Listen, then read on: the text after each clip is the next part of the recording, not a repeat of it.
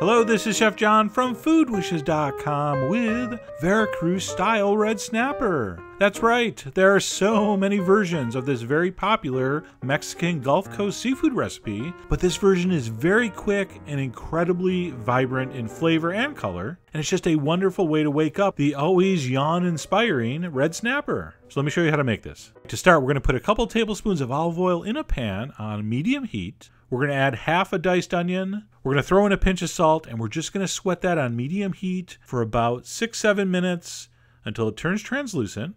While that's happening, we're going to go ahead and prep the main ingredients, which are tomatoes, olives, and jalapeno. So I'm going to start by slicing up some tomatoes. Usually see this done with diced tomatoes or a tomato sauce. I really like the sweet cherry tomatoes for this, much nicer flavor. If you can find a variety called Sweet 100s, that's my favorite.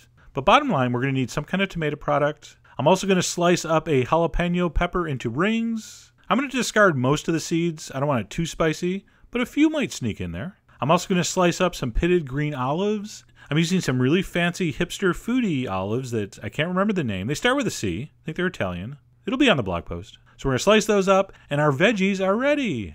By this time, your onions are going to be perfect, so we're going to head back over to the stove and we're going to dump in some minced garlic. We're going to give that about 30 second swirl in the oil. Then a tablespoon of whole capers, plus one tablespoon of the caper brine. Okay? Don't be scared, it's fine. All right, so give that a stir. And at that point, we can dump in our tomato, pepper, olive mixture. All right, and we're on medium heat. We're just going to stay on medium the whole way. I'm going to switch to a spoon here. And I'm just going to kind of stir this over the heat for about three minutes, I'm going to guess. And all we want to happen are those peppers to soften ever so slightly. And those tomatoes are just going to start to collapse. And like I said earlier, this is usually done with canned tomatoes or fresh tomato sauce, but I really love the cherry tomatoes. You get that aroma of fresh tomato leaves that you just don't get with the other products. So, like I said, we're just going to stir that until the tomatoes start to collapse. And when it looks like that, stop. Turn off the heat, and we're going to stir in some fresh oregano.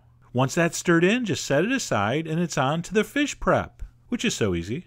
And why that's so easy is because we're using trimmed, boneless, red snapper fillets. Those are about seven ounces each. And we're going to cut those in half, but not quite in half. I want you to make the thicker end of the fillet the slightly larger half. So 60 40, with the thinner tail piece being the 40% part. And you'll see why in a second. If you're not great at math, no worries, just cut them in half and we're ready for final assembly. So I'm to get my pans ready. I'm using these small individual metal baking pans. I love these things. Super cheap. Get them at any restaurant supply store. And as you'll see, they work great. This can also be done in a casserole dish, which I'll talk about on the blog.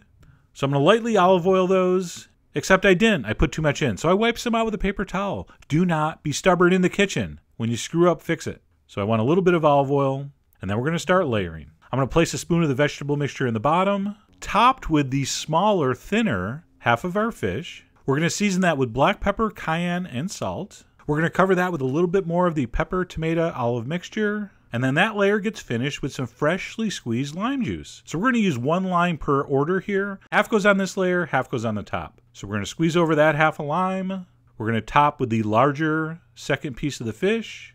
Again with the pepper, again with the cayenne, and again with the salt. All right? The other half of the lime, and then finally, we're going to top it with the onion, olive, tomato, pepper mixture.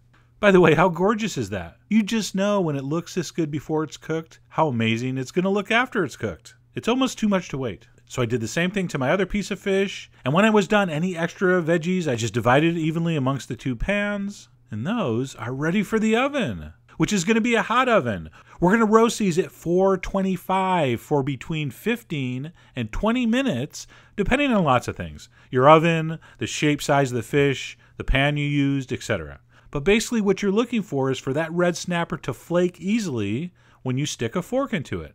Now, I'm going to show you that when I eat mine because I don't want to wreck it because I didn't take any pictures yet. So I had to take my beauty shots first. There you go. So I'm going to place this on a napkin on a plate next to some blue corn chips. I love this next to chips. I don't even serve a side. That's my start. It's like a one dish meal. In fact, parents, you can call this fish nachos. The kids will love it. And there you go, Veracruz style fish. Now that we've feasted our eyes on the beautiness of it, let me take the fork and show you what I meant by flaking. The meat should just break off in large, succulent pieces, It should be moist and it should be permeated with all those amazing flavors. I mean, the way the sweet onions and tomatoes play off the briny, sharp olives and peppers is just magical. All right, and right here you can really see the flakiness. It's almost too perfect. That'll happen sometimes. And like I said, I love to serve this with tortilla chips or just regular tortillas to scoop up all that juicy vegetable goodness. It's so incredible. So I really hope you give this a try. Head over to foodwishes.com for all the ingredient amounts and more info as usual.